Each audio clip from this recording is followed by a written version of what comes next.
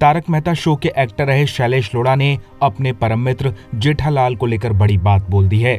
अब जब शैलेश ने ये शो छोड़ दिया है तो दिलीप जोशी उनके साथ कैसा व्यवहार कर रहे हैं, शायद इसे सुनकर इन्हें पसंद करने वाले लोगों को बहुत बुरा लगेगा। लेकिन इस कड़वे सच से शैलेश ने पर्दा उठा दिया है। तारक मेहता शो में मेहता साहब और जेठालाल की दोस्ती ऐसी थी कि असल ज़िंदगी में इनकी दोस्ती की मिसालें दी जाने लगी।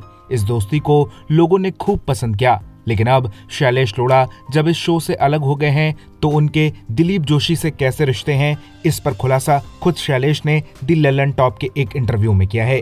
शैलेश से पूछा गया कि क्या प्रोड्यूसर असित मोदी से उनका झगड़ा हुआ तो दिलीप जोशी ने उनका साथ दिया। क्या शो छोड़ने के बाद भी उनकी दोस्ती दिलीप जोशी के साथ बरकरार है?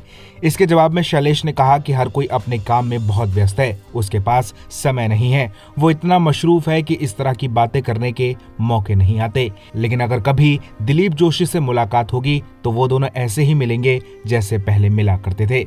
जब शैलेश से आगे पूछा गया कि क्या ये सच है कि जब तक शूटिंग चलती है, तब तक दोस्ती रहती है, शूटिंग खत्म तो दोस्ती खत्म। इस पर शैलेश ने कहा कि दुनिया का भी यही हाल है। जब तक काम चलता है, तब तक सब सही काम नहीं तो मिले तो मिले, वरना नहीं मिले। शैलेश की बातों से यह साफ़ हो गया कि दिलीप जोशी के साथ उनकी दोस्ती तभी खत्म हो गई थी जब उन्होंने तारक मेहता शो छोड़ा।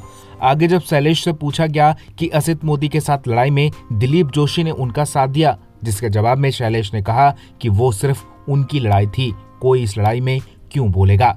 शैलेश की बातें सुनकर ये क्लियर हो गया कि पर्दे पर दिखने वाली मेहता साहब और जेठालाल की दोस्ती अब वैसी नहीं रही।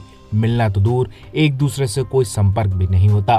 फ़िलहाल, शैलेश की ये बातें सुनकर उन्हें और जेठालाल को साथ में पसंद करने वाले लोगों का दिल टूट गया है। वेल, आप क्या कहेंगे इस पर? अपनी राय हमें कमेंट में दीजिए और ज़्यादा ऐसी अपडेट्स के लिए बॉलीवुड पर चर्चा को सब्सक्राइब कीजिए।